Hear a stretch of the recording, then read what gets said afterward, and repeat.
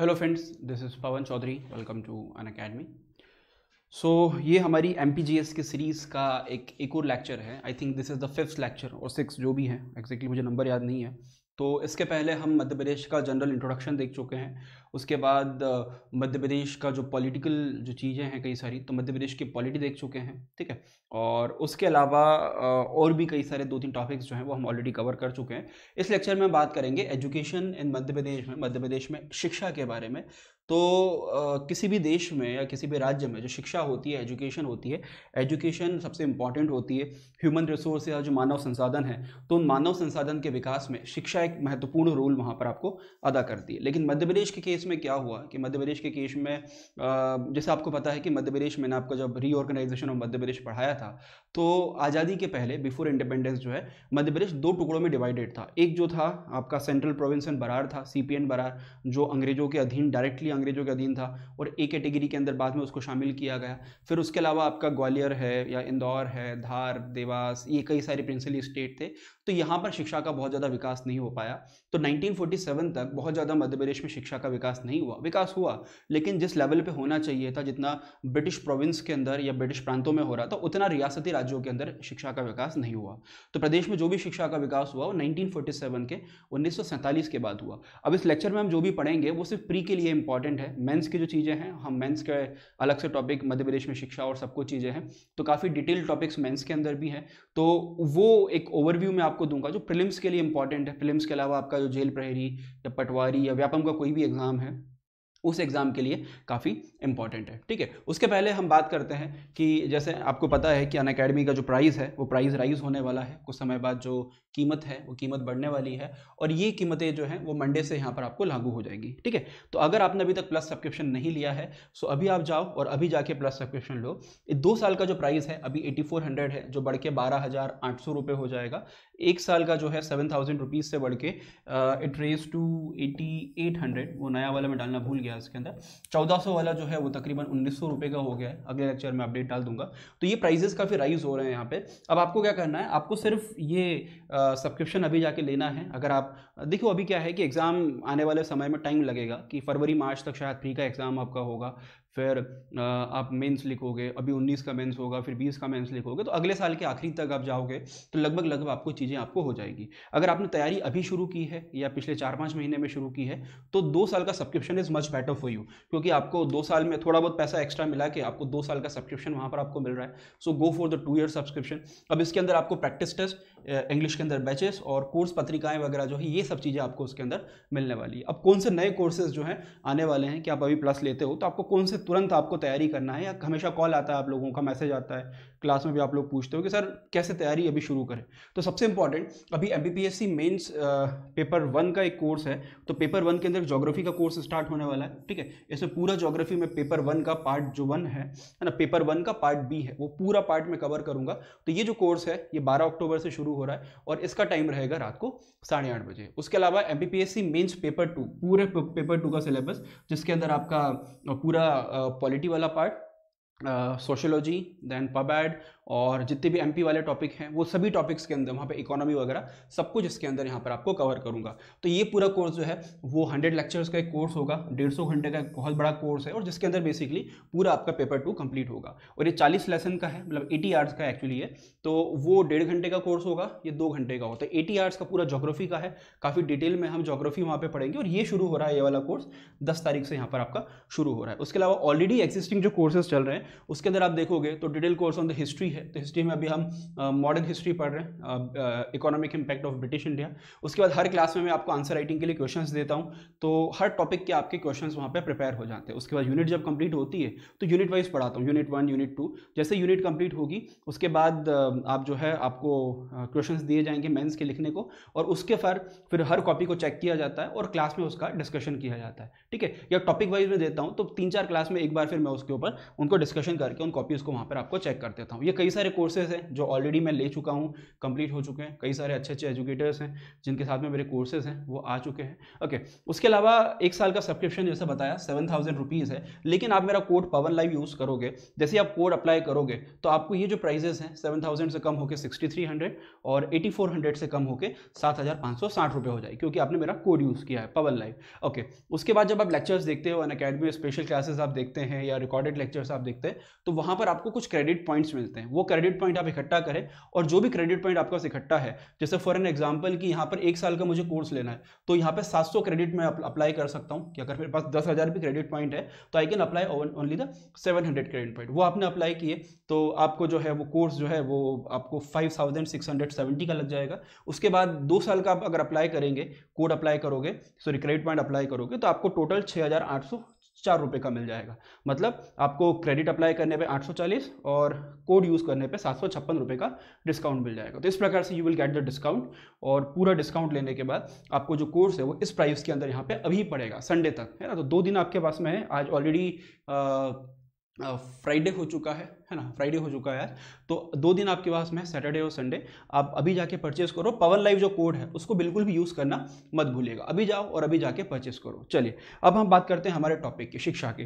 तो किसी भी देश में या कहीं पर भी दो तरह की शिक्षा के स्तर होते हैं। एक होता है स्कूल एजुकेशन और दूसरा होता है आपका कॉलेज एजुकेशन हायर एजुकेशन उच्च शिक्षा और दूसरा होता है स्कूल एजुकेशन ठीक है school education as you know कि ट्वेल्थ तक यहाँ पर आपको होगा। और सॉरी कॉलेज एजुकेशन जो है, फिर आपके बाद जो भी आपका डिग्री आपको लेना है B A B com B जो भी आपको हायर एजुकेशन करना है, वो हायर एजुकेशन है ना? 2011 का सेंसस बोलता है कि मध्य प्रदेश में जो लिटरेसी रेट है, वो 70.6 परसेंट है और जिसमें मेल लिटरेसी है 80.5 परसेंट जबकि आपकी जो फीमेल लिटरेसी है, वो है आपका 60 परसेंट टोटल मध्य प्रदेश के अंदर आप देखोगे, चार करोड़ अड़तीस लाख लोग जो हैं, वो आपके शिक्षित हैं, जिसके अंदर से one crore seventy nine lakh crore one one crore seventy nine lakh womens हैं और उसके अलावा तकरीबन two crore fifty eight lakhs जो आपके, मेल है। तो ये मध्य प्रदेश में टोटल आपके जनसंख्या के कुछ फिगर्स है। कई बार आपको आंसर राइटिंग में या वैसे भी आपको फैक्ट्रेंस फिगर्स यहाँ पे याद होना चाहिए। ठीक है? अब हायर एजुकेशन डिपार्टमेंट की बात करें तो मध्य प्रदेश सरकार में एक अलग से डिपार्टमेंट है, जिसको उच्च शिक्षा विभाग बोला जाता है और जितनी भी यूनिवर्सिटीज़ हैं, जितने भी विश्वविद्यालय हैं, जितनी भी यूनिवर्सिटीज़ हैं, सब उसी के अंतर्गत वहाँ पर आपको आती है। तो जितनी भी यूनिवर्सिटीज़ मध्य प्रदेश में है तो उनके जो गवर्न उनके जो हेड होते हैं, जिसको हम बोलते हैं चांसलर तो governor of the Madhya Pradesh Madhya Pradesh के जो राज्यपाल होंगे, वो उसके गवर्न उसके वाइस इसके चांसलर होंगे। और जो गवर्नर हैं, वही बाकी आपके जो वाइस चांसलर हैं, उन वाइस चांसलर का अपॉइंटमेंट वहाँ पर या जो उपकुलपति होते हैं, उनका अपॉइंटमेंट वहाँ पर किया जाएगा। तो राज्य सरकार की अनुशंसा पे गवर्नर जो है, वो बाकी यूनिवर्सिटीज़ के जो उनके अधिकारी हैं, उनके जो वाइस चांसलर्स हैं, उनका अपॉइंटमेंट यहाँ पे किया जाएगा। अब कितने इंस्टीट्यूशंस हैं, कितने टेक्निकल इंस्टीट्यूशंस हैं, उसका एक लिस्ट मैंने आपको दिया है। तो 2018-19 का जो गवर्नमेंट का लास्ट डेटा आया था, उसके अंतर्गत मध्य प्रदेश में 609 आपके टेक्निकल इंस्टीट्यूट हैं, जहाँ पर तकरीबन एक लाख इक्कीस हज़ार जो बच्चे हैं, वो यहाँ पर आपको पढ़ रहे हैं, जिसमें इंजीनियरिंग एमसीए वगैरह वगैरह करके अलग अलग कॉलेजेस है। तो ये आपके सिक्स जो डेटा है, वो सिर्फ़ टेक्निकल इंस्टीट्यूट या तकनीकी संस्थानों का यहाँ पर आपका दिया गया है, ठीक है? तो ये डेटा तो ठीक है। अब हम बात करते हैं कौन कौन से इंस्टीट्यूशन हैं अलग अलग संस्थान आपके बने हुए हैं। तो दो तरह की चीज़ें होती है। एक होता है जहाँ पर आप प्रोफेशनल एजुकेशन लेते हैं, जैसे आपका B E M B A है, जो मैंने अभी लिस्ट बताई। तो B E M C M B A वगैरह D pharma B pharma diploma ये ये इनको टेक्निकल इंस्टीट्यूट या प्रोफेशनल इंस्टीट्यूट बोला जाता है। उसके अलावा दूसरी यूनिवर्सिटीज़ होती हैं, जो सिर्फ़ आपको फॉर्मल एजुकेशन देती है। फॉर्मल एजुकेशन मतलब B A B com B S C या बी ए फाइन आर्ट या इस प्रकार की एजुकेशन देती है। उसको फॉर्मल यूनिवर्सिटी या फिर आपके एक आधारभूत विश्वविद्यालय यहाँ पर आपको बोला जाता है। तो ये जो आधारभूत विश्वविद्यालय हैं, वो मध्य प्रदेश में कौन कौन से हैं? तो सबसे पहले जो है, आपका बरकतुल्ला यूनिवर्सिटी है भोपाल में। 1970 में इसका स्टैब्लिशमेंट हुआ, जिसको पहले भोपाल यूनिवर्सिटी बोला जाता था, और 1988 में इसका नाम चेंज करके बरकतुल्ला यूनिवर्सिटी वहाँ पर किया गया। तो जो बरकतुल्ला थे, वो one of the famous freedom fighter हुआ करते थे, जिन्होंने अफ़गानिस्तान में जाके भारत की जो सरकार है, एक निर्वासित सरकार या एक प्रोविजनल गवर्नमेंट भारत के लिए स्टैब्लिश की। With the help of Raja Mahendra Singh और उनके साथ में मिल के तो वो उसके प्रधानमंत्री हुआ करते थे। ठीक है? तो एक तरीके से भारत के प्रोविजनल जो प्रधानमंत्री थे, उनके नाम से यूनिवर्सिटी स्टैब्लिश की गई। उसके जीवाजी यूनिवर्सिटी एक ग्वालियर में 1964 में इसका स्टैब्लिशमेंट किया गया और इसको जीवाजी राव सिंधिया थे, ग्वालियर के जो राजा हुआ करते थे, उनके नाम से इसकी स्थापना की गई। तीसरी यूनिवर्सिटी बनती है डी इंदौर, देवी अहिल्या विश्वविद्यालय। 1964 में इसका स्टैब्लिशमेंट होता है और पहले इसको इंदौर यूनिवर्सिटी के नाम से जाना जाता था। इसको बाद में नाम चेंज करके आपका डी ए बी भी यहाँ पर आपका किया गया। ये इकलौती ऐसी यूनिवर्सिटी है मध्य प्रदेश में जिसको नेक सर्टिफिकेशन जो नेक ए प्लस का सर्टिफिकेशन यहाँ पर आपको मिला है, ठीक है? इसके अलावा किसी भी यूनिवर्सिटी को मध्य प्रदेश में नेक ए प्लस वहाँ पे नहीं मिला। तो पिछले साल भी इसको नेक ए प्लस मिला था और इस साल भी नेक ए प्लस यहाँ पर मिला है। एक इंस्टीट्यूट ऐसा और है जिसको नेक ए प्लस प्लस मिला है, उसके बारे में आगे बताऊँगा। उसके बाद रानी दुर्गावती यूनिवर्सिटी है, जबलपुर में, छप्पन के अंदर स्टैब्लिशमेंट हुआ। फिर अवधेश सिंह प्रताप यूनिवर्सिटी है सिक्सटी में स्टैब्लिशमेंट हुआ। और विंध्य प्रदेश के पहले जो मुख्यमंत्री हुआ करते थे आपके आपके 1948 में तो उनके नाम से is of one of the famous freedom fighter in that area Vikram university Ujjain में, जिसका स्टैब्लिशमेंट उन्नीस सौ सत्तावन के अंदर हुआ, छत्रसाल बुंदेला यूनिवर्सिटी 2015 में। अब ये जो एरियाज़ हैं, ये पर्टिकुलर एरियाज़ को संभालता है, जैसे भोपाल है तो ये लगभग लगभग पूरे भोपाल जो संभाग है, उसमें एजुकेशन प्रोवाइड करेगा। ये ग्वालियर संभाग में डीएबीवी जो है, इंदौर संभाग में दुर्गावती जो है, वो जबलपुर और सागर संभाग में, ऐसे इनके एरियाज़ बटे हुए हैं। उसके बाद पंडित शंभुनाथ दयाल यूनिवर्सिटी है शेडोल में 2018 में। तो इस प्रकार से one two three four five six seven eight eight universities है जो सब एरिया में फॉर्मल एजुकेशन यहाँ पे प्रोवाइड करती है। तो आठ संभाग है और आठ, दस संभाग है सॉरी और दस संभाग को मिला के आठ यूनिवर्सिटीज़ जो है, पूरी शिक्षा का जो आदान प्रदान है वहाँ पे करी, जहाँ पे बी ए बी और बेसिक कोर्सेज वहाँ पर आपके कंडक्ट किए जाते हैं। ठीक है तो ये लिस्ट आपसे एक बार देख लीजिएगा, आप इसको चाहे तो इसका स्क्रीनशॉट भी आप ले सकते हैं ताकि आपको दिक्कत ना हो। और इसका जो पीडीएफ है, वो मेरे टेलीग्राम चैनल पे आपको मिल जाएगा। टेलीग्राम का जो लिंक है, आपको डिस्क्रिप्शन में टेलीग्राम का लिंक मिल जाएगा। वहाँ पर आप जाके ज्वाइन करके पीडीएफ को प्राप्त कर सकते हैं। चलिए, उसके बाद पहला जो इंस्टीट्यूशन है, ये तो बात हुई प्रोफेशनल, आपके जो इंस्टीट्यूशन थे आपके, जो जनरल इंस्टीट्यूट थे। उसके बाद कई सारे और भी इंस्टीट्यूट और भी कई सारी यूनिवर्सिटीज़ हैं, जिसमें सबसे इंपॉर्टेंट यूनिवर्सिटी है अटल बिहारी वाजपेयी, हिंदी यूनिवर्सिटी हिंदी विश्वविद्यालय। अब ये जो विश्वविद्यालय है, ये विश्वविद्यालय आपके 2011 में इस्टेब्लिशमेंट किया गया और इसका मेन जो पर्पज़ था, प्रदेश में जो हिंदी का प्रमोशन करना या हिंदी का जो प्रचार प्रसार है, हिंदी का प्रचार प्रसार करना, उसके लिए इसकी स्थापना वहाँ पर की गई भोपाल के अंदर, पंडित वाजपेयी के, अटल बिहारी वाजपेयी जी के नाम से। और वो भारत के प्रधानमंत्री भी रहे और काफ़ी जाने माने हिंदी के आपके कवि भी रहे हैं, ठीक है? अब इनके नाम से यूनिवर्सिटी स्टैब्लिश किया गया हिंदी लैंग्वेज के प्रमोशन के लिए। उसके अंदर और भी कई सारे हिंदी के अंदर इंजीनियरिंग हिंदी के अंदर आपका मेडिकल एजुकेशन वो सब चीज़ें वहाँ पे प्रोवाइड करने की कोशिश की गई। खैर, वो इतना सक्सेसफुल नहीं हुआ, लेकिन फिर भी जो हिंदी के प्रमोशन के लिए उसमें लिटरेचर्स और कई सारे जो हिंदी के कवि हैं, उनके ऊपर रिसर्च वर्क वगैरह करने में काफ़ी फ़ेमस यूनिवर्सिटी हुई तो दो हज़ार ग्यारह में स्थापना हुई। दूसरा जो इंस्टीट्यूशन है, दूसरी जो यूनिवर्सिटीज़ हैं, अब ये जो भी यूनिवर्सिटीज़ हैं ये ऐसी यूनिवर्सिटीज़ जो पर्टिकुलर एक क्षेत्र के अंदर वहाँ पे आपको काम करती। मैंने पहले बता दिया फॉर्मल यूनिवर्सिटी कौन सी है। अब हम कई सारे ऐसी यूनिवर्सिटीज़ देखेंगे जो संगीत के कॉलेज को मान्यता देती है। संस्कृत के कॉलेज को मान्यता देती है वेटर्निटी को देती है एग्रीकल्चर को देती है तो ऐसी कई सारी यूनिवर्सिटीज़ हैं, कई सारी छोटी छोटी यूनिवर्सिटीज़ बनी जो स्पेसिफिक क्षेत्र के अंदर काम करती है। जैसे आर भी है तो वो सिर्फ़ और सिर्फ़ जो इंजीनियरिंग या जो टेक्निकल एजुकेशन के जो इंस्टीट्यूट है, वहाँ पर आपको काम करेगी। या ये जो Makhanlal Chaturvedi national university of journalism and mass communication है, ये सिर्फ़ पत्रकारिता के जो कॉलेज होंगे, जो बैचलर इन आपका मास जर्नलिज्म में करते हैं तो उन कॉलेजेस को मान्यता प्रदान करेगी। इनको डी या एपीएस से मान्यता वहाँ पर लेने की।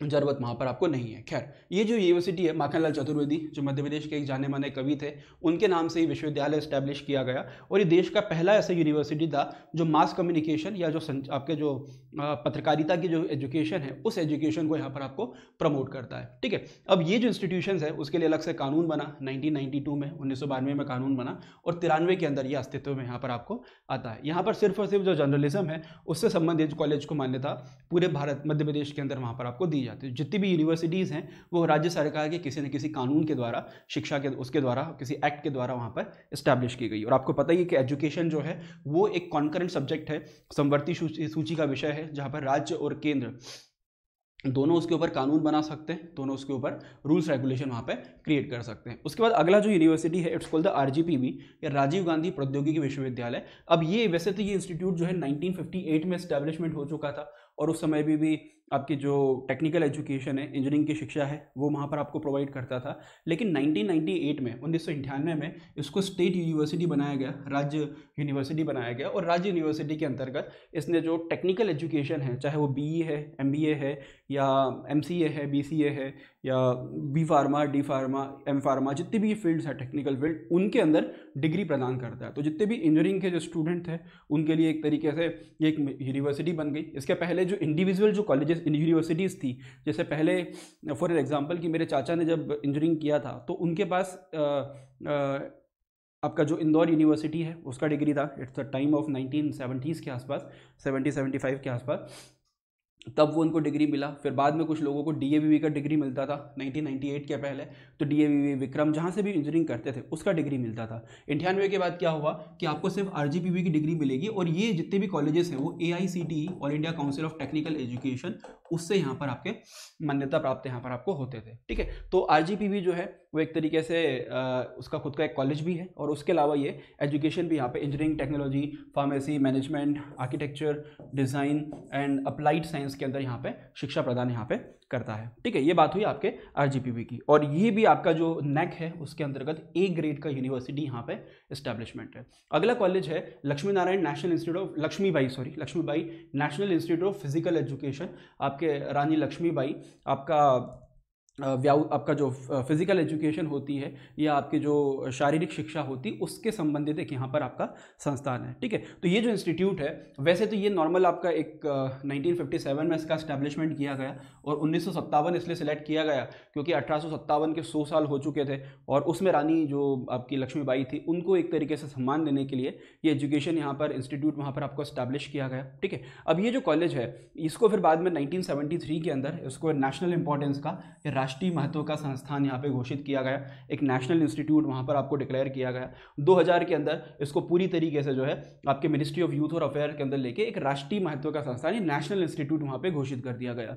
तो दो तरह की यूनिवर्सिटीज़ होती हैं। एक स्टेट की होती है, राज्य की होती है और एक दूसरा जो होता है, वो सेंट्रल की यूनिवर्सिटी होती है। तो इसको सेंट्रल का यूनिवर्सिटी डिक्लेयर कर दिया गया and it became Laxmibai national college of physical education L N ये जो इंस्टीट्यूट है, इसको नेक के अंदर ए प्लस प्लस का जो सर्टिफिकेशन है ए प्लस प्लस की रेटिंग यहाँ पे मिली है। इसके अलावा कोई भी इंस्टीट्यूट नहीं है मध्य प्रदेश में जिसको ए प्लस प्लस मिला है। तो पूरे देश में गिने चुने इंस्टीट्यूट हैं, जो स्पेशली आपके जो आई वगैरह कुछ हैं, कुछ आपके आई हैं, जिनको ए प्लस प्लस मिला है। तो this is one of the finest institute जिसको ए प्लस प्लस की रेटिंग जो है, वो रेटिंग यहाँ पर मिली है। तो यहाँ पर बेसिकली जो फ़िज़िकल एजुकेशन है, शारीरिक शिक्षा है, उसका ट्रेनिंग या उसका जो डिग्री है, वो उसका डिग्री यहाँ पर आपको दिया जाता है। तो this is one of the finest institute जो मध्य प्रदेश में है। अगली यूनिवर्सिटी है है ना? वो Raja Mansingh Tomar music and art university है, ये मध्य प्रदेश की खुद की यूनिवर्सिटी है। तो यहाँ पर आपको जो म्यूज़िक और कला, संगीत और कला जो है, इसके क्षेत्र में जो कॉलेजेस हैं, उन कॉलेजेस को एफिलिएशन और डी एफिलिएशन उनको मान्यता देना, मान्यता वापस लेना, उनके रिज़ल्ट वगैरह जो स्टूडेंट के वो डिक्लेयर करना, ये पूरा काम इसके द्वारा किया जाता है। ये कहाँ पर है? ये आपके ग्वालियर में लोकेटेड है। और उसके बाद इसको 2008 के अंदर इसका स्टैब्लिशमेंट जो है मध्य प्रदेश सरकार ने कानून के द्वारा इसका स्टैब्लिशमेंट किया। अब जो मानसिंह जो थे, जो आपके ग्वालियर के राजा हुआ करते थे तो उन्होंने आपकी जो शिक्षा, आपके जो आर्ट्स आर्ट एंड कल्चर है, उसमें काफ़ी उन्होंने काम किया। ये खुद एक जाने माने आपके म्यूजिशियंस हुआ करते थे या कला में काफ़ी कला प्रेमी हुआ करते तो उनके नाम से ये इंस्टीट्यूशन अभी यहाँ पर उन्होंने मानसिंह तोमर के नाम से इस्टेब्लिश किया। अभी के समय पर यहाँ पर आपके 112 जो कॉलेजेस हैं, इससे एफिलेटेड हैं, यहाँ पर म्यूज़िक डांस फ्रांस आपके फाइन आर्ट और ड्रामा थिएटर इन सब के अंदर जो डिग्रियाँ हैं, वो डिग्रियाँ यहाँ पर इसके अंदर प्रोवाइड की जाती हैं। अगला जो इंस्टीट्यूट है, Atal Bihari Vajpayee Indian institute of information technology and management short में अगर हम बोलेंगे तो I I I T M triple I T M triple I है ना? Triple I T M. ये इस्टेब्लिशमेंट किया गया 1997 में ग्वालियर के अंदर और ये जो इंस्टीट्यूशन है, वो ministry of human resource and development या मानव संसाधन विकास मंत्रालय है। ये अभी के हिसाब से आप बोलोगे तो एजुकेशन जो डिपार्टमेंट है मिनिस्ट्री ऑफ़ एजुकेशन है उसके अंतर्गत इसकी यहाँ पर आपकी स्थापना की गई। इसका जो मकसद है, वो इन्फॉर्मेशन टेक्नोलॉजी और आपका जो मैनेजमेंट है, उनके कॉम्बिनेशन से वहाँ पे लोगों को पढ़ाना आईटी और मैनेजमेंट तो आईटी मैनेजमेंट एक तरीके से लोगों को सिखाना कि इन्फॉर्मेशन टेक्नोलॉजी में किस प्रकार से डेटा मैनेजमेंट और जो सॉफ्टवेयर कंपनीज़ वगैरह हैं, वहाँ पर किस प्रकार की मैनेजमेंट की ज़रूरत पड़ती है। तो वो सब डिग्रियाँ इसके अंदर यहाँ पर आपको प्रोवाइड किया। वो सब टेक्निकल एजुकेशन यहाँ पे आपको सिखाई जाती है। फिर Indian institute of tourism and travel management तो ये जो संस्थान है, ये पूरे भारत में भुवनेश्वर, नोएडा, नेल्लोर और गोवा तो ये चार जगह पे आपका ये इंस्टीट्यूट वहाँ पे स्टैब्लिश है और पांचवा जो इंस्टीट्यूट है, वो हमारे ग्वालियर में तो ग्वालियर, भुवनेश्वर, नोएडा, नेल्लोर और गोवा तो ये पाँच जगह पे हाँ पाँच जगह पे पूरे भारत में इस्टेब्लिशमेंट किया गया है। और ये बेसिकली जो टूरिज़्म है वो टूरिज़्म के क्षेत्र में डिग्री प्रदान करता है या जो टूरिज़्म के क्षेत्र में जो भी विकास है जो भी चीज़ें हैं तो नई नई चीज़ें वहाँ पर लोगों को सिखाता है और डिग्रीज़ वगैरह जो है उससे संबंधित यहाँ पर प्रोवाइड करता है। और ये ऑब्वियसली बात है मिनिस्ट्री ऑफ़ जो टूरिज़्म है या आपका जो आ, उसको बोलते हैं हम जो पर्यटन मंत्रालय है उसके अंतर्गत यहाँ पर आता है। नाइनटीन में इसका जो इस्टेब्लिशमेंट है इस्टेब्लिशमेंट यहाँ पर किया गया था। तो this is one of the finest institute जो आपके जो टूरिज़्म है, उसके अंदर डिग्री यहाँ पे प्रदान करता है। अगला जो इंस्टीट्यूट है it's called the R I T R J I T Rustam ji institute of technology अब ये जो इंस्टीट्यूट है, ये ग्वालियर के पास में एक जगह है टेकनपुर वहाँ पर लोकेटेड है टेखनपुर एक छावनी है, आपका आर्मी का वहाँ पे बेस है, या एयरफोर्स का भी उसके पास में वहाँ पर आपको बेस है, महाराजपुर वगैरह। तो वहाँ पर जो भी बीएसएफ का जो स्टैब्लिशमेंट हुआ तो यहाँ पर रुस्तम जी का एक बड़ा रोल हुआ करता था। उन्होंने उस समय पे रुस्तम जी जो थे, उन्होंने पूरा जो टेक जो भी पूरा बीएसएफ है, उसके स्टैब्लिशमेंट में एक बड़ा रोल अदा किया। और उसके बाद बीएसएफ की एक छावनी वहाँ पर बनाई गई। इंदौर में भी एक छावनी वहाँ पर है।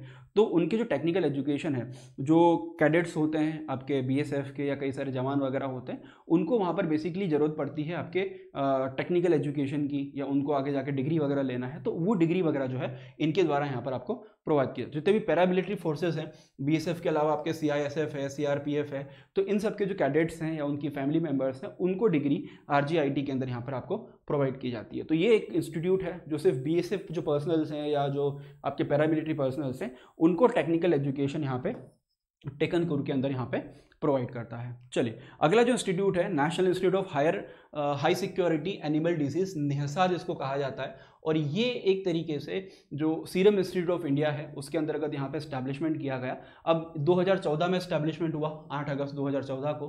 और स्पेसिफिक अभी यहाँ पर हमको जाएँ। तो इसका काम होता है, जो भी एनिमल्स रिलेटेड जो डिज़ीज़ हैं, जानवरों से संबंधित जो भी बीमारियाँ हैं, उन बीमारियों के ऊपर वैक्सीन्स वगैरह डेवलप करना, उनसे रिलेटेड जो भी आपके जो वायरसेस वगैरह हैं या जो दूसरी बीमारियाँ आपके जानवरों को होती है तो उनसे रिलेटेड जो भी वैक्सीन्स हैं या भी जो मेडिसिन वगैरह हैं, वो डेवलप करना। तो national institute of high security animal disease उसको कहा जाता है, ठीक है? अब ये जो संस्थान है, ये आपके भोपाल के अंदर लोकेटेड है। भोपाल के अंदर the place is called Kolar dam ऐसा कुछ जगह का नाम है, वहाँ पर आपका लोकेटेड है। अब ये इसने दो तीन चीज़ें की हैं। सबसे स्पेशली उसने जो बर्ड फ्लू का आपका बर्ड फ्लू का जो वैक्सीन है, वो वैक्सीन उन्होंने डेवलप किया। उसके बाद स्वाइन फ्लू का जो वैक्सीन था, उसके अंदर भी काफ़ी उन्होंने वहाँ पर अपना रोल अदा किया।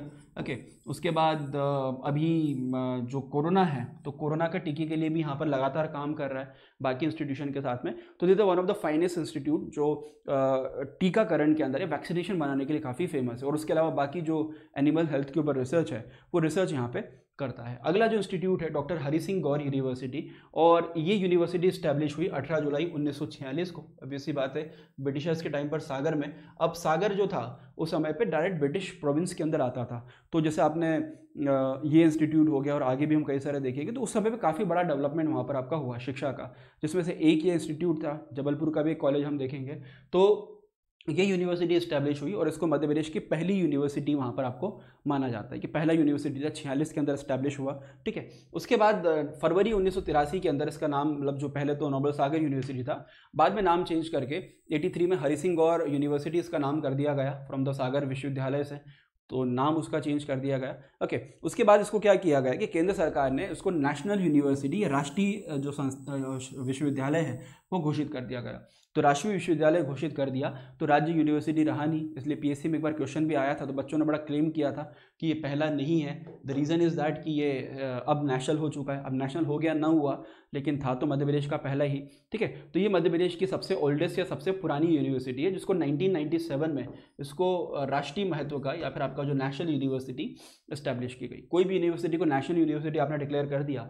आफ्टर दैट वो जो यूनिवर्सिटी है, वो केंद्र सरकार के, उसके अधीन या उनके जो रूल्स रेगुलेशन है उसके हिसाब से यहाँ पर आपको चलेगी। ओके okay, अगली यूनिवर्सिटी है द इस name is Indira Gandhi national tribal university Indira Gandhi ये राष्ट्रीय आपका जनजातीय विश्वविद्यालय तो ये अमरकंटक अनूपपुर के अंदर लोकेटेड है।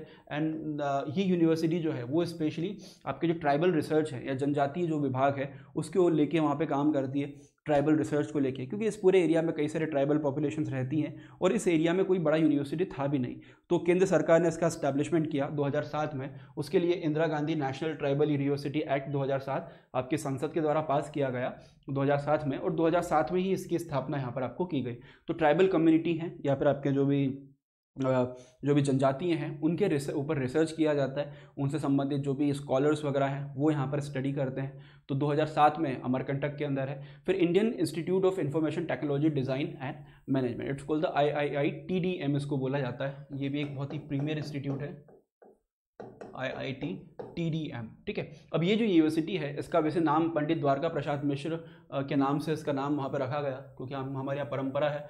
कि हमारे जो जो भी पॉलिटिशियंस हैं या हमारे जो भी फ्रीडम फाइटर्स हैं, उनके नाम से रखा जाता है। तो मध्य प्रदेश के जाने माने फ्रीडम फाइटर थे द्वारका प्रसाद मिश्र। उसके नाम से इसका स्टैब्लिशमेंट वहाँ पर आपको किया गया। And it is located in the Jabalpur के अंदर। और ये बेसिकली आपके जो इन्फॉर्मेशन टेक्नोलॉजी और उससे रिलेटेड जो डिज़ाइन और मैनेजमेंट जो मैन्युफैक्चरिंग है, आपके आई इंडस्ट्री से लेकर जो भी डिज़ाइनिंग वगैरह है या जो भी चीज़ें हैं, उसके ऊपर यहाँ पर काम करता है। ठीक है? जबलपुर के अंदर है और ये राष्ट्रीय महत्व का संस्थान जो है, उसको आईआईटी जो ट्रिपल आईटी एक्ट है गवर्नमेंट का उस ट्रिपल आईटी एक्ट के अंतर्गत इसको राष्ट्रीय महत्व का संस्थान डिक्लेयर किया गया। देश में IIT Indian institute of technology IIT IIM and N और एन के अलावा आपके ट्रिपल आईटी ठीक है, ये बेसिकली ऐसे इंस्टीट्यूट होते हैं जो राष्ट्रीय महत्व के संस्थान होते हैं। तो वो ऐसे संस्थान होते हैं जो नेशनल डेवलपमेंट में राष्ट्रीय जो विकास है, उसमें एक बहुत ही महत्वपूर्ण रोल वहाँ पर अदा करते हैं। तो इसको याद रखिएगा ट्रिपल आई टी में इसका स्टैब्लिशमेंट आपका होता है। अगला इंस्टीट्यूट है जवाहरलाल नेहरू कृषि विश्वविद्यालय। तो ये एग्रीकल्चर यूनिवर्सिटी मध्य प्रदेश की तो इसका स्टैब्लिशमेंट होता है 1964 में, उन्नीस सौ चौंसठ में और 1949 में कमीशन बनाता था कमीशन इस कॉल्ड राधा कृष्णन कमीशन तो उसकी रिकमेंडेशन पे उन्होंने बोला था कि प्रदेश में, पूरे देश में एग्रीकल्चर यूनिवर्सिटी या कृषि विश्वविद्यालय होना चाहिए तो उनकी अनुशंसा पे इन संस्थान का जो स्टैब्लिशमेंट है वो स्टैब्लिशमेंट यहाँ पे आपका किया गया। ओके okay, तो 1964 में ये मध्य प्रदेश का पहला कृषि विश्वविद्यालय था। उसके बाद सेकंड कृषि विश्वविद्यालय फिर से आपका राजा राजमाता विजय राजे सिंधिया कृषि विश्वविद्यालय जो है वो फिर से इस्टेब्लिशमेंट किया गया 1980s के अंदर। तो ये दिस इज़ द सेकेंड जो ग्वालियर के अंदर लोकेटेड है और ये दो एग्रीकल्चर एग्रीकल्चर यूनिवर्सिटी पहली आपके जबलपुर के अंदर और दूसरी जो है आपके ग्वालियर के अंदर यहाँ पर आपको स्टैब्लिशमेंट की गई। इसका जो ईयर शायद मैं मिस कर गया and I think it's nineteen जो भी होगा मैं नीचे कमेंट सेक्शन के अंदर या वीडियो में ही आपको बाद में यहाँ पर एक स्ट्रिप के अंदर दिख जाएगा कि इसकी स्थापना कब हुई। वो थोड़ा सा मैं उसको मिस कर गया हूँ, ठीक है? तो ये मध्य प्रदेश की सेकेंड एग्रीकल्चर यूनिवर्सिटी यहाँ पर स्थापित की गई। तो दो एग्रीकल्चर यूनिवर्सिटी हैं, मध्य प्रदेश में इस्टेब्लिश की गई। उसके बाद मध्य प्रदेश में जो मेडिकल साइंसेज हैं मतलब मेडिकल साइंसेज मतलब आपके जो जो आयुर्विज्ञान है या मेडिकल जो फ़ील्ड है, उसके अंदर एक कंबाइंड यूनिवर्सिटी बनाई गई। जैसे पहले क्या होता था कि जैसे जो डॉक्टर्स होते हैं आप अगर, अभी आप डॉक्टर्स के पास में जाओगे, जो पुराने डॉक्टर्स हैं, जो कई साल से प्रैक्टिस कर रहे हैं तो उनके हॉस्पिटल में आपको भोपाल यूनिवर्सिटी, इंदौर, जबलपुर ऐसे अलग अलग यूनिवर्सिटीज़ की डिग्री वहाँ पर आपको मिलेगी। लेकिन सरकार ने क्या करा कि जितने भी मेडिकल की फ़ील्ड हैं मध्य प्रदेश के अंदर, चाहे वो आयुर्विज्ञान हो या वो आयुष का हो तो 2011 में एक अलग से स्टेट यूनिवर्सिटी बनाई गई, राज्य विश्वविद्यालय बनाया गया, जो Mahatma Gandhi medical science university के नाम से जाना जाता था। तो ये मध्य प्रदेश में जितने भी मेडिकल कॉलेजेस हैं dental nursing paramedical ayurvedic homeopathy Unani yoga इस प्रकार के जितने भी कॉलेजेस हैं, उन सभी कॉलेजेस को जो मान्यता है, वो इसके द्वारा मान्यता यहाँ पर आपको दी जाती है। मतलब एलोपैथिक और एलोपैथिक के अलावा जो है नर्सिंग या आपके जितने भी आपके यूनानी, आपके आयुष वगैरह हैं, सबके अंदर जो डिग्री दी जाएगी, इसी के द्वारा डिग्री यहाँ पर आपको प्रदान की जाएगी। तो ये एक ऐसा इंस्टीट्यूट है जो आपको मेडिकल साइंस के अंदर जो है वो डिग्री प्रदान करता है। पहले ये डिग्री जो है वो आपके फॉर्मल एजुकेशन इंस्टीट्यूट जो है उनके द्वारा दी जाती थी, before the two thousand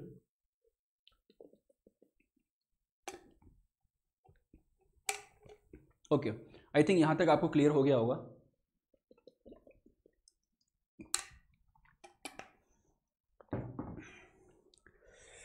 पसीना बड़ा आ रहा है। चलो। Okay so this is one of the finest university जो मेडिकल एजुकेशन के लिए है. Okay okay. उसके बाद Nanaji Deshmukh veterinary science university Nanaji Deshmukh आपके जो वेटर्निटी है, ये पशु चिकित्सा विश्वविद्यालय है. तो पशु चिकित्सा के जितने भी कॉलेजेस थे, उन कॉलेजेस की शिक्षा को प्रदान करने के लिए, उनकी एजुकेशन को प्रदान, उनके कॉलेजेस को मान्यता देने के लिए नानाजी देशमुख के नाम से, भारत रत्न नानाजी देशमुख के नाम से एक यूनिवर्सिटी इस्टेब्लिश की गई, जो मध्य प्रदेश पशु चिकित्सा विज्ञान विश्वविद्यालय के नाम से फ़ेमस है. जबलपुर के अंदर लोकेटेड है. ठीक है? ये यूनिवर्सिटी 2009 के अंदर स्टैब्लिशमेंट इसका किया गया और जितने भी वेटर्निटी कॉलेज हैं, उनको यहाँ पर आपका मान्यता यहाँ पे प्रदान करेगा। 2009 में इसका जो कानून है, वो कानून भी मध्य प्रदेश सरकार के द्वारा पास किया गया। ठीक है? अब ये वेटर्निटी साइंस या फिशरी मैनेजमेंट वगैरह, इनके अंदर जो भी एक्सपर्ट डिग्रीज़ हैं, वो डिग्रीज़ यहाँ पर आपको प्रदान करेगा। और उसके बाद इसके जो कॉलेजेस हैं तो तीन इसके कॉलेजेस हैं, एक जबलपुर में है, एक महू में है और एक रीवा में है। तो तीन इसके इंस्टीट्यूट हैं, इसके खुद के यूनिवर्सिटी के, खुद के इंस्टीट्यूशंस हैं जो वहाँ पर वेटर्निटी के अंदर शिक्षा यहाँ पर प्रदान करते हैं। और उसके अलावा अदर दैन दैट जो है, वो कई सारे जितने भी कॉलेजेस हैं वेटर्निटी के पूरे मध्य प्रदेश में, उनको यहाँ पर मान्यता प्रदान करता है। ठीक है? ये तीनों नाम याद रखिएगा। ओके ये तो हुई कुछ यूनिवर्सिटीज़ उसके अलावा रॉबर्टसन कॉलेज है, जबलपुर में one of the finest college जिसको अभी Mahakaushal art and commerce college या आपके गवर्नमेंट मॉडल साइंस कॉलेज के नाम से जाना जाता है तब दो पार्ट में डिवाइड हो गया है। गवर्नमेंट मॉडल साइंस कॉलेज और Mahakaushal arts and commerce college. लेकिन इसका जो हिस्ट्री है, वो बहुत पुराना है। कि उस समय पे आपके जबलपुर के जो कमिश्नर हुआ करते थे, रॉबर्टसन, उनके नाम से इसका स्टैब्लिशमेंट 1836 में इसकी जो स्थापना है, वो सागर के अंदर वहाँ पे गवर्नमेंट स्कूल के रूप में यहाँ पे की गई। फिर बाद में जो है, उसको वहाँ से जबलपुर ले जाया गया। तो उस समय पे एफ़ का डिग्री ये लोग देते थे फाइन आर्ट डिग्री आपका जो ट्वेल्थ के बराबर डिग्री होती थी, वो एफ़ का डिग्री फाइन आर्ट का डिग्री वहाँ पर लोगों को दिया जाता था। फिर इसको सागर से जो है, वो 1860 में इसको सॉरी 1873 में इसको जबलपुर है, जबलपुर में लाया गया और आज़ादी के बाद जो है, इसका नाम चेंज करके फिर आपका महाकौशल यूनिवर्सिटी के नाम से इसका नाम कर दिया गया। तो उस समय के आपका जो बेंजामिन रॉबर्टसन थे, उनके नाम से इसकी स्थापना वहाँ पर की गई थी। तो ये मध्य प्रदेश के सबसे पुराने कॉलेजेस के अंदर से एक है।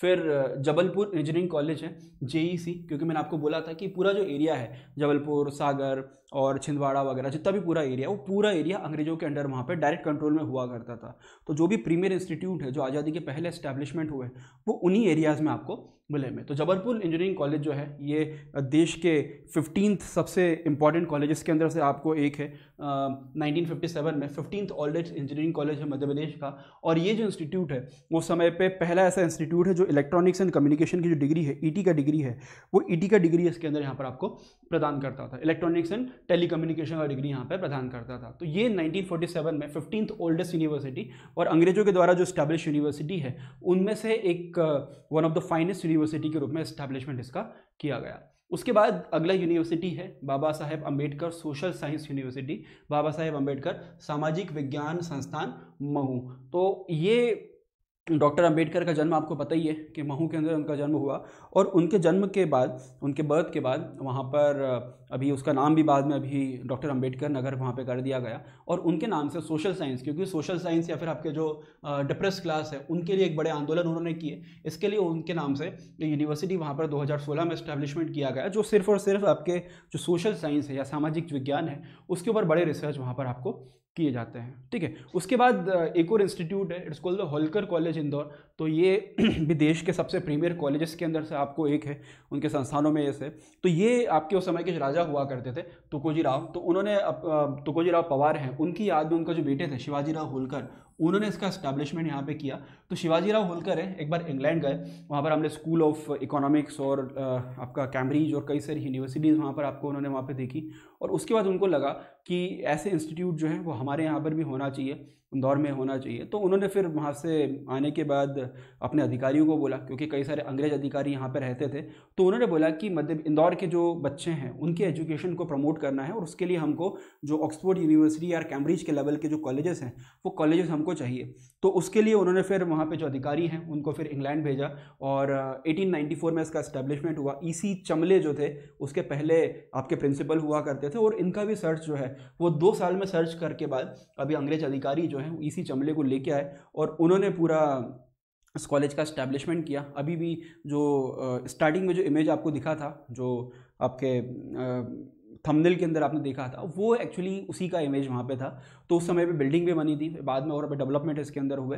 तो ये अभी भी पूरे मध्य प्रदेश में सबसे फाइनेस्ट कॉलेज में से एक जनरली वो साइंस का डिग्री देता है। होलकर साइंस कॉलेज इसको बोला जाता है तो अभी तो ये सिर्फ़ साइंस की डिग्री यहाँ पर प्रदान करता है। लेकिन कट ऑफ़ जो है वो ninety eight ninety nine percent तक कट ऑफ़ इसका जाता है। And this is the premier institute और पहले नाइनटीन ज़ीरो फोर तक कलकत्ता यूनिवर्सिटी से ये रिलेटेड था, उससे संबद्ध था, उससे एफिलिएशन था। फिर बाद में इलाहाबाद यूनिवर्सिटी से संबद्ध हुआ। और उसके बाद 1988 में यूजीएस यूजीसी ने यूनिवर्सिटी ग्रांट कमीशन ने इसको एक ऑटोनोमस इंस्टीट्यूट एक स्वायत्त संस्थान यहाँ पर आपको घोषित कर दिया। तो एक स्वायत्त संस्थान के रूप में यहाँ पे काम करता है। ठीक है, अब हम बात करते हैं मेडिकल कॉलेजेस की। एक सबसे इंपॉर्टेंट मेडिकल कॉलेज है it's called the MGM medical college Mahatma Gandhi memorial medical college तो ये एज यू नो कि इंदौर के अंदर लोकेटेड है। अब इंदौर के अंदर आपको दो चीज़ें हैं कि मध्य प्रदेश का पहला मेडिकल कॉलेज कौन सा है, पहला आपका मेडिकल यूनिवर्सिटी कौन सा है। तो उसमें दो चीज़ें आती हैं। एक ये जो यूनिवर्सिटी है, कुछ लोग इसको बोलते हैं कुछ लोग गजरा राजे को बोलते हैं। लेकिन ये जो यूनिवर्सिटी है या ये जो कॉलेज है, इसके पहले यहाँ पर एक मेडिकल स्कूल हुआ करता था, ठीक है? तो ये ये बेसिकली यहाँ पर एक किंग एडवर्ड मेडिकल स्कूल हुआ करता था और ये जो नर्सिंग के जो इंस्टीट्यूट है नर्सिंग की ट्रेनिंग वगैरह है, वो नर्सिंग की ट्रेनिंग है या डॉक्टर्स की इनिशियल ट्रेनिंग है, उसके लिए जो इंग्लैंड में ट्रेनिंग लेते थे, उसके बाद इंडिया में आने के बाद जो भी वहाँ से एमबीबीएस करके आया है या डिग्री लेके आया है उन लोगों को यहाँ पर स्पेशल ट्रेनिंग दी जाती थी इंडिया के एनवायरनमेंट के इंडिया के हिसाब से तो वो काम यहाँ पर इसके अंदर होता था। तो पहले इसको किंग एडवर्ड मेडिकल स्कूल के नाम से जाना जाता था और उसी को डेवलप करके, वो स्कूल था, एक नर्सिंग स्कूल और एक मेडिकल ट्रेनिंग इंस्टीट्यूट था, उसको उन्होंने फिर डेवलप करके आपके M G M medical college के रूप में नाइनटीन में, उस समय के जो राजा हुआ करते थे, यशवंतराव होलकर सेकेंड उन्होंने इसको डेवलप किया, क्योंकि इसका जो स्टैब्लिशमेंट है, वो ऑलमोस्ट ऑलमोस्ट आपके जब जो जो मध्य भारत नहीं बना था तो मध्य भारत बनने के कुछ समय पहले इसका स्टैब्लिशमेंट वहाँ पर आपको किया गया था। क्योंकि यशवंत राव होलकर सेकेंड जो है एजुकेशन को लेकर बहुत ज़्यादा एक्टिव थे, वो पूरी फैमिली ही हमेशा से एजुकेशन को लेकर एक्टिव रही है। तो उन्होंने उस समय पर इसकी जो स्थापना है, वहाँ पर करवाई। फिर मध्य भारत बनने के बाद इसको प्रॉपर तरीके से महात्मा गांधी की तब तक डेथ भी हो चुकी थी तो उनके नाम से फिर इसका नाम जो है, वहाँ पर आपको चेंज किया गया ठीक है? और ये आपका इसके पास में एक हॉस्पिटल है, the hospital is called the M Y hospital. Maharaja, आपके यशवंत राव होलकर हॉस्पिटल है, एम वाई हॉस्पिटल के नाम से जाना जाता है। तो जब ये बना था 1955 में, उस समय पे एशिया के सबसे बड़े मेडिकल कॉलेज, मेडिकल जो हॉस्पिटल है, उसमें से एक हुआ करता था, ठीक है? खैर, उसके बाद तो कई सारे बहुत बड़े बड़े कॉलेजेस आपके मेडिकल हॉस्पिटल्स बन गए, लेकिन फिफ्टी में this is one of the largest medical school in the whole Asia अभी के टाइम पर नहीं है, अभी तो इससे बड़े बड़े कई सारे जो मेडिकल हॉस्पिटल्स हैं, वो आपके एमपी के अंदर ही बने हुए हैं या इंडिया में भी आपके बने हुए हैं। अगला इंस्टीट्यूट है it's called the Rafi Ahmed Kidwai college of agriculture ये 1952 के अंदर इसका इस्टेब्लिशमेंट किया गया और ये सिर्फ़ एक मेडिकल आपका मेडिकल कॉलेज है। तो ये एक प्रीमियर मेडिकल सॉरी मेडिकल नहीं सॉरी एग्रीकल्चर कॉलेज है। तो ये देश के सबसे premier medical agriculture college sorry सबसे प्रीमियर एग्रीकल्चर कॉलेजेस के अंदर एक है। तो 1952 में इसका स्टैब्लिशमेंट किया और मध्य प्रदेश, भारत के पहले जो फ़ूड एंड एग्रीकल्चर मिनिस्टर थे, कृषि एवं खाद्य मंत्री थे रफ़ी अहमद किदवई, उनके नाम से इसकी स्थापना वहाँ पर आपको की गई, ठीक है? तो एग्रीकल्चर इंस्टीट्यूट के रूप में काम करता है। अगला जो यूनिवर्सिटी है it's called the Sanchi university of Buddhist and Indic study ठीक है? अब ये जो यूनिवर्सिटी है, सांची यूनिवर्सिटी उसको बोला जाता है। जैसे नालंदा यूनिवर्सिटी है, वैसे ही बुद्धिस्ट की स्टडी के लिए या बुद्ध धर्म की शिक्षा के लिए उसका स्टैब्लिशमेंट जो है, उसकी स्थापना 2012 में अभी जो इस्टेब्लिशमेंट किया गया और स्पेशली मैत्रीपाना, सिरिसेना और कई सारे जो फॉरेन गेस्ट हैं, वहाँ पर आए थे। इसका मेन पर्पज़ है कि जो बुद्धिक स्टडी है या बुद्ध से रिलेटेड जो स्टडी है, वो स्टडी भारत के अंदर यहाँ पर आपको करना, बुद्ध के ऊपर रिसर्च करना, क्योंकि बुद्ध के ऊपर रिसर्च करने के लिए तो कई सारे लोग आपके फाहियान और कई सारे लोग सिंह वगैरह भारत के अंदर आए थे। सिर्फ़ बुद्ध के ऊपर स्टडी करने के लिए तो ये स्पेशली बुद्धिज़्म के ऊपर स्टडी है, उस स्टडी को करने के लिए इसका स्टैब्लिशमेंट यहाँ पे किया गया तो बुद्ध से रिलेटेड जो कंटेम्प्रेरी फिलोसॉफी है, उसके बाद आपकी ट्रेडिशनल फिलोसॉफी है, उसके जो अलग अलग प्रैक्ट्स वगैरह हैं, उसके ऊपर स्टडी करने के लिए इसका स्टैब्लिशमेंट यहाँ पर किया गया है। ठीक है, उसको आप बाद में पीडीएफ में पढ़ लेना, इतना इंपॉर्टेंट नहीं है। है ना? मेंस के हिसाब से इंपॉर्टेंट मैंने पॉइंट डाल दिए। उसके बाद medical college it's called the Gajra Raje medical college है। आपको सिर्फ़ याद ईयर याद रखना है कि 2012 में इस्टेब्लिशमेंट हुआ और रायसेन के अंदर, सांची के अंदर उसका इस्टेब्लिशमेंट हुआ। प्लेस भी बता देता हूँ मैं, वैसे पता होगा आपको। तो गजराज मेडिकल कॉलेज, ये मध्य प्रदेश का पहला, एक फॉर्मल मेडिकल कॉलेज है। 1946 में 1946 में इसकी स्थापना की गई। It's called the G R M C G R M C Gajra Raja medical college के नाम से उसको जाना जाता है। तो ये जो इंस्टीट्यूट था 1946 में ब्रिटिश ऑफिसर्स के द्वारा इसकी स्थापना वहाँ पर की गई। और मेन इसका जो पर्पज़ था कि जो एजुकेशन है मध्य प्रदेश में, उस एरिया में, ग्वालियर स्टेट के अंदर मेडिकल एजुकेशन और मेडिकल जो कॉलेज हैं, उसकी स्थापना किया जाए। तो उसको लेके 21 नवंबर 1945 को लॉर्ड वेवल, जो समय पर भारत के गवर्नर जनरल हुआ करते थे, वो भारत आए थे और वो मतलब आपके ग्वालियर आए थे और ग्वालियर में आके उन्होंने इसकी स्थापना की थी and it became the seventeenth medical college of India, Bharat का उस समय का सत्रवा मेडिकल कॉलेज वहाँ पर आपका बना था। ठीक है 1946 में फिर जीवाजी राव सिंधिया जो थे, वो जो राजप्रमुख बाद में बने और ग्वालियर के राजा थे, उन्होंने इसका स्थापना जो है, उसका इस्टेब्लिशमेंट वहाँ पर उस समय आपका किया था। ठीक है तो ये एक फाइनेस्ट इंस्टीट्यूट है जो मेडिकल कॉलेज के लिए इस्टेब्लिश हुआ और अभी भी गजरा राजा जो है, एक प्रीमियर इंस्टीट्यूट है। उसके अलावा ग्वालियर में एक और कॉलेज था तो college is called the Scindia college. अब ये जो कॉलेज था, ये बेसिकली आपके एक स्कूल हुआ करता था, इसको सिंधिया स्कूल बोला जाता था। तो ये उस समय पे जो माधवराव सिंधिया हैं, माधवराव सिंधिया फ़र्स्ट जो ज्योतिरादित्य सिंधिया हैं, उनके दादाजी हुआ करते थे, उनके ग्रैंडफादर हुआ करते माधवराव सिंधिया जो थे, उनके फादर थे। तो उन्होंने उनके ना, उनके फादर भी नहीं, उनके जो भी उनके फैमिली के ही थे। तो एक तरीके से माधवराव जो सिंधिया थे, उनके ग्रैंड उनके ग्रैंडफादर थे, उनके दादाजी थे, जिनकी डेथ हो गई।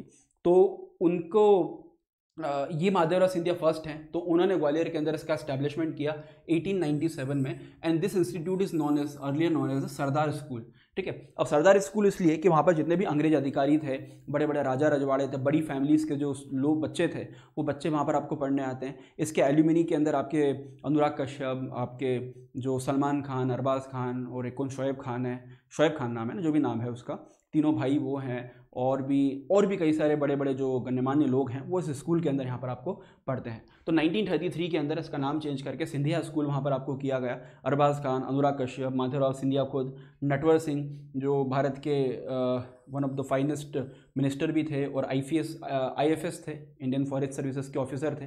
तो वो ऐसे लोग इसके अंदर यहाँ पर आपको पढ़े हैं। ठीक है? अगला जो स्कूल है it's called the Delhi college अब Delhi college establish in the Indore और ये जैसा सिंधिया स्कूल था, वैसे ही इंदौर के अंदर जो ईस्ट राजकुमार जो जो पूरा एरिया था, इस पूरे एरिया का तो इस पूरे एरिया के जितने भी राजकुमार वगैरह थे, जितने भी प्रिंसेस थे, जितने भी अंग्रेज़ अधिकारियों के बच्चे वगैरह थे, वो सब लोग इसके अंदर यहाँ पर आपको पढ़ने के लिए यहाँ पर आपको आते थे। तो 1870 में सर हेनरी डेली हैं, जो उस समय के बड़े ब्रिटिश अधिकारी हुआ करते थे, उन्होंने इसका स्टैब्लिशमेंट वहाँ पे किया एंड 1876 में इसका नाम चेंज करके ईस्ट राजकुमार कॉलेज जो है, वो नाम चेंज कर दिया गया, ठीक है? उसके बाद जब हेनरी डेली की डेथ हुई तो उसके बाद इसका नाम चेंज करके डेली कॉलेज वहाँ पर आपको कर दिया गया।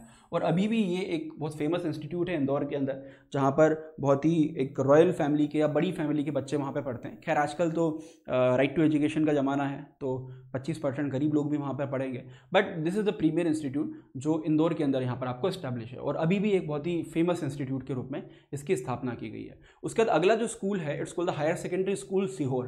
तो ये जो था, ये भी 1835 में जो लॉर्ड लिंकिनसन थे, जो इस एरिया के अंग्रेज़ अधिकारी थे जो भोपाल, जो स्टेट था तो भोपाल स्टेट के अंदर एक रेसिडेंट हुआ करते थे। उन्होंने इस स्कूल का स्टैब्लिशमेंट किया and this is the one of the oldest school of India Bharat के सबसे पुराने स्कूल्स में से एक था। 1835 में इसका स्टैब्लिशमेंट हुआ। तो वर्नाकुलर स्कूल के लिए वर्नाकुलर मतलब होता है आपकी देशी भाषा के लिए। तो उस समय पर भारत में चार वर्नाकुलर स्कूल ओपन किए गए थे, जिसमें से एक अजमेर में था, एक सीहोर में था और दूसरे दो कहीं और थे।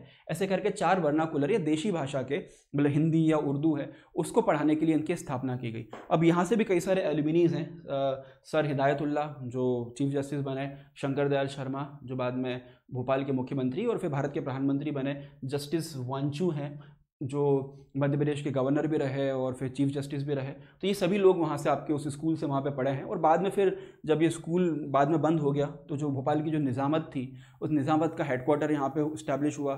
फिर कुछ समय बाद फिर से स्कूल ओपन किया गया और अभी शायद ये बंद है या शुरू है, नहीं पता।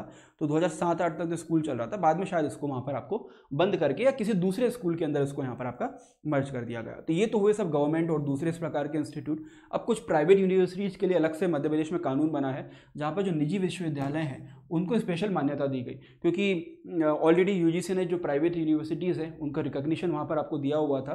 तो उसके लेके मध्य प्रदेश के अंदर एक कानून बना। द कानून इज़ कॉल्ड मध्य प्रदेश निजी विश्वविद्यालय, आपका स्थापना एवं संचालन अधिनियम 2007 तो 2007 में कानून आया और इस कानून के अंदर जितने भी निजी विश्वविद्यालय हैं उनकी जो भी गाइडलाइन वगैरह है, उनकी जो मान्यता वगैरह संबंधित जो चीज़ें हैं, वो सब चीज़ें उसके अंदर यहाँ पर आपको की गई हैं। तो सबसे पहले जो एक जेपी करके इंस्टीट्यूट था JP university of engineering and technical technology engineering and technology Guna. फिर M university Gwalior oriental university Indore, ऐसे कई सारे और भी इंस्टीट्यूट चाहे वो ओरिएंटल इंदौर भी हो और अब तो अरविंदो यूनिवर्सिटी इंदौर में है। अब तो तकरीबन तकरीबन 35 से 40 अलग अलग जो प्राइवेट यूनिवर्सिटीज़ हैं, वो मध्य प्रदेश के अंदर यहाँ पर आपको स्टैब्लिशमेंट है। खैर, इसकी पूरी लिस्ट मुझे मिल नहीं पाई। अगर मिलती तो मैं डाल देता। ठीक है, ये एक मैप के अंदर भी दिखाया गया। खैर, ये काफ़ी पुराना मैप है तो इसको इग्नोर करो। ठीक है, अब ये तो हुए आपके प्राइवेट यूनिवर्सिटीज़ जो दो हज़ार सात के कानून के द्वारा उनका स्टैब्लिशमेंट वहाँ पर आपको किया जाएगा।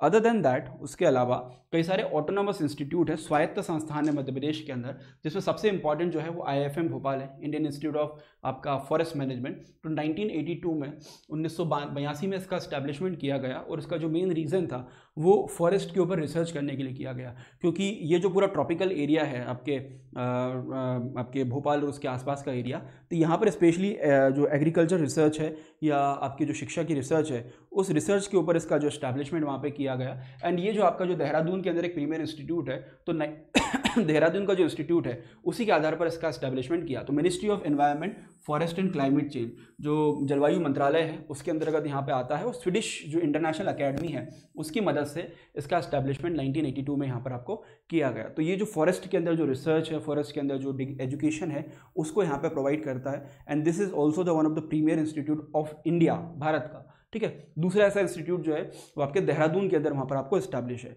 और इसका पूरा जो आर्किटेक्चर है, वो आपके चार्ल्स कोरिया और उनके जो टीम के लोग थे, अनंत राजे इन लोगों ने इसका पूरा जो डिज़ाइन है, आर्किटेक्चर है, वो यहाँ पर इस्टेब्लिशमेंट उसका किया गया था। ठीक है, और पूरा जो डिज़ाइन है तो आपके मांडू का जो पूरे स्ट्रक्चर्स आपके हैं बिल्डिंग्स वगैरह हैं, उनसे उसको पूरा इंस्पायर होकर बनाएगा प्रगति मूलम प्रकृति, ये उसका ऋग्वेद से उसका जो एक टैगलाइन है, वो टैगलाइन यहाँ पे लिया गया है। अगला इंस्टीट्यूट है इट्स आई एम इंदौर 1996 में, उन्नीस सौ छियानवे में इसका स्टैब्लिशमेंट किया गया, और ये देश का छठा आई था। तो शुरुआती सालों के अंदर जो आई जब इस्टेब्लिश हुए तो शुरुआती सालों में मध्य प्रदेश के अंदर, इंदौर के अंदर इसका इस्टेब्लिशमेंट किया गया। और ये ऐसा यू था, फिर बाद में उसने दुबई और यू वगैरह जो है, वहाँ पर भी अपने कॉलेजेस वहाँ पर इस्टेब्लिश किए। तो फुल टाइम रेसिडेंशियल कॉलेज वहाँ पर देता यू के अंदर आपके रास अल खेमान करके एक जगह है, दो हज़ार ग्यारह में। वहाँ पर इसकी एक ब्रांच ओपन हुई। खैर, वो चली नहीं, उसको उनको बंद करना पड़ा। ओके उसके अलावा एनआईआरएफ के अंदर भी उसको अच्छी खासी रैंकिंग ए प्लस का रैंकिंग वहाँ पर आपको मिला था। उसके बाद आईआईटी इंदौर है Indian institute of technology Indore तो 2009 में इसका स्टैब्लिशमेंट हुआ। तो it's simple IIT college simple नहीं आईआईटी इज़ आईआईटी बट 2009 के अंदर स्टैब्लिशमेंट किया गया। एक समय पे मध्य, इंदौर जो है, वो भारत का इकलौता ऐसा शहर था जहाँ पर आईआईटी और आईएम दोनों स्टैब्लिश हैं। बाद में रायपुर और और भी कई सारे जगहों पर वो स्टैब्लिशमेंट हुआ। ठीक है? उसके बाद मैनिट भोपाल है। तो ये कॉलेज जो था, ये भी एक one of the premier institute है मध्य प्रदेश का, जो इंजीनियरिंग का कॉलेज है। पहले इसको एम के नाम से जाना जाता था। M S is called the Maulana Azad college of technology ठीक है? तो ये जो इंस्टीट्यूट था, ये एक तरीके से एक समय पे सबसे एक इंपॉर्टेंट कॉलेज हुआ करता था। फिर बाद में इसको एन बनाया गया। N I T is called the national institute of technology तो हर राज्य के अंदर एक एनआईटी होता है, ठीक है? तो उस तरीके से मध्य प्रदेश के अंदर इसको मैनेट भोपाल बनाया गया। And this institute is the first choice of कोई भी इंजीनियरिंग का स्टूडेंट है जिसको आईआईटी नहीं मिलता है। तो फिर एनआईटी में आना चाहता है। तो एन एक्ट के द्वारा इसका इस्टेब्लिशमेंट किया गया। 1960 में जो एन आई है इस्टेब्लिशमेंट वहाँ पर आपका किया गया था। फिर बाद में इसको एन आई टी यहाँ पर आपको बनाया गया। फिर N I F T Bhopal है national institute of fashion technology Bhopal.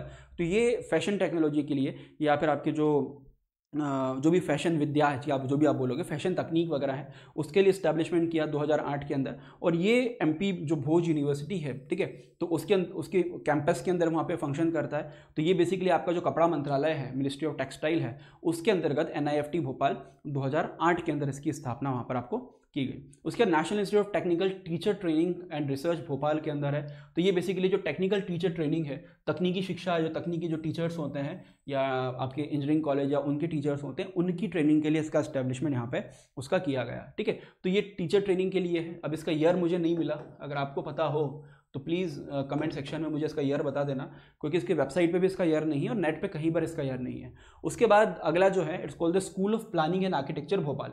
योजना एवं वास्तुकला संस्थान तो ये जो इंस्टीट्यूट है, ये अर्बन प्लानिंग के लिए शहरी जो प्लानिंग है, उसके लिए डेवलप किया गया कि शहरों में किस प्रकार की प्लानिंग्स होना चाहिए, किस प्रकार के जो इंस्टीट्यूट हैं, वो शहरों में आपके इस्टेब्लिशमेंट हो सकते हैं, उसके अंदर आपकी सीवरेज हैं या बाकी जितनी भी चीज़ें हैं, वो कैसे स्थापित हो सकती हैं। तो उसके हिसाब से 2008 में इसका इस्टेब्लिशमेंट किया गया। And this is the for the urban planning शहरी जो भी प्लानिंग है उसके लिए इस्टेब्लिशमेंट किया गया। और ये फिर आपका जो मिनिस्ट्री ऑफ़ अर्बन डेवलपमेंट है, आपका जो शहरी विकास मंत्रालय है, उसके अंतर्गत ये इंस्टीट्यूट वहाँ पर आपको आता है, ठीक है? तो ये मध्य प्रदेश, भारत के अंदर सबसे जो आपके प्लानिंग के सबसे इंपॉर्टेंट कॉलेजेस के अंदर से यहाँ पर आपको एक है। उसके बाद अगला इंस्टीट्यूट है it's called the Shri Govind Seksaria institute of technology and science it's called the G S I T S तो उन्नीस सौ बावन के अंदर इंदौर में इसकी स्थापना की गई, और ये जो संस्थान था, ये उस समय पे अभी भी मतलब आप देखोगे तो इंजीनियरिंग के स्टूडेंट जो होती है, उनकी पहली चॉइस होती है, जो लोकल लेवल पे करना चाहते हैं, या जिनको आईआईटी वगैरह नहीं जाते तो आजकल आईआईटी में भी इसको अच्छी खासी रैंक मिल जाती है तो अच्छे खासे लेवल पे जो स्टूडेंट हैं, वो आईआईटी से उसको, जो आई टी जेई होता है उससे उसको सेलेक्ट करते हैं। 52 में इस्टेब्लिशमेंट हुआ गोविंद सेक्सेरिया के नाम से और 1989 में ही इसको जो ऑटोनोमस संस्थान है, एक स्वायत्त संस्थान का दर्जा वहाँ पर आपको दे दिया गया। तो इंदौर में है। उसके बाद Xavier institute of development and आपका स्टडीज़ है। तो ये आपके नाइनटीन के अंदर, जबलपुर के अंदर इसका इस्टेब्लिशमेंट हुआ। तो ये जेवियर जो कॉलेज है आपका कलकत्ता में कलकत्ता का सबसे फ़ेमस कॉलेज है जेवियर, उसकी एक ब्रांच यहाँ पे एस्टेब्लिश हुई है तो एक प्राइवेट कॉलेज के रूप में है बट इट इज़ इंपॉर्टेंट ठीक है? उसके नाइनटीन अगला जो कॉलेज है, Bhopal school of social science जिसको बीएसएस बोला जाता है तो इसका इस्टेब्लिशमेंट नाइनटीन में जो वहाँ के जो क्रिश्चियन मिशनरीज हैं डॉक्टर आपके यूगिन डिसूजा उन्होंने इसका इस्टेब्लिशमेंट किया था, और ये उस समय पर आर्क बिशप वो भोपाल हुआ करते थे। तो इसका मेन पर्पज़ वही है कि बच्चों को कॉलेज एजुकेशन वगैरह ये वो सब चीज़ें प्रोवाइड करना तो सोशल साइंस के अंदर बी ए वगैरह का जो डिग्री है, अब तो और भी कई सारी डिग्रीज ये प्रदान करते हैं, लेकिन इनिशियली सिर्फ़ सोशल साइंस की डिग्री ये लोग प्रदान किया करते थे। उसके बाद एक और यूनिवर्सिटी है मध्य भारत, मध्य प्रदेश के अंदर, जो सरकारी यूनिवर्सिटी है उसको तो भोज ओपन यूनिवर्सिटी तो इसका जो मेन उद्देश्य था कि प्रदेश के अंदर जो भी एजुकेशन है, जो डिस्टेंस लर्निंग है, जो दूरस्थ शिक्षा है, उस दूरस्थ शिक्षा को प्रोवाइड करने के लिए तो फॉर दैट पर्पज़ उन्होंने क्या करा कि इग्नू इस्टेब्लिश हुआ, Indira Gandhi national open university, उसी लेवल पे हर राज्य के अंदर एक ओपन यूनिवर्सिटी इस्टेब्लिश की गई, जो दूरस्थ शिक्षा है, जो उसमें एडमिशन लेंगे स्कूल वगैरह के अंदर एडमिशन लेंगे, और फिर वो कुछ पर्टिकुलर टॉपिक का एग्ज़ाम देके अपना एग्ज़ाम वहाँ पर आपको क्लियर कर सकते हैं। तो 1986 में आपका नेशनल एजुकेशन जो पॉलिसी आया था, उसके अंतर्गत फिर इसका इस्टेब्लिशमेंट आपका किया गया। और 1991 में आपको स्टेट असेंबली ने इसका कानून पास किया। It's called the Madhya Pradesh Bhoj open university MPBOU और ये दूरस्थ शिक्षा के अंदर शिक्षा यहाँ पर आपको प्रदान करता है। अगला जो है, रविंद्रनाथ टैगोर यूनिवर्सिटी है। इट्स नॉट इंपॉर्टेंट बट मैंने उसको डाल दिया। मुझे लगा थोड़ा सा इंपॉर्टेंट है। तो ये आपका पहला मध्य प्रदेश का स्किल बेस्ड प्राइवेट यूनिवर्सिटी है, जो सिर्फ़ स्किल के ऊपर काम करता है। ऐसा इंस्टीट्यूट जो स्किल ट्रेनिंग वगैरह देता है अलग अलग फील्ड्स के अंदर तो this is the skill training institute जो मध्य प्रदेश के अंदर है। और रविन्द्रनाथ टैगोर जो ग्रुप है 2010 में इसकी जो स्थापना है, वो स्थापना भोपाल के अंदर यहाँ पर आपको की गई। फिर एक लिस्ट मैंने दिया है, सबका एक पूरा सीरीज़ के अंदर आपको पूरा नाम लिखे हुए हैं। तो वो लिस्ट आप देख लेना। पूरा तो मैं पढ़ा ही चुका हूँ आपको, ठीक है? So this is the list school education की बात करें तो अभी 2018 का जो इकोनॉमिक सेंसस आया, आपका इकोनॉमिक सर्वे आया था, अठारह उन्नीस का तो अरे यार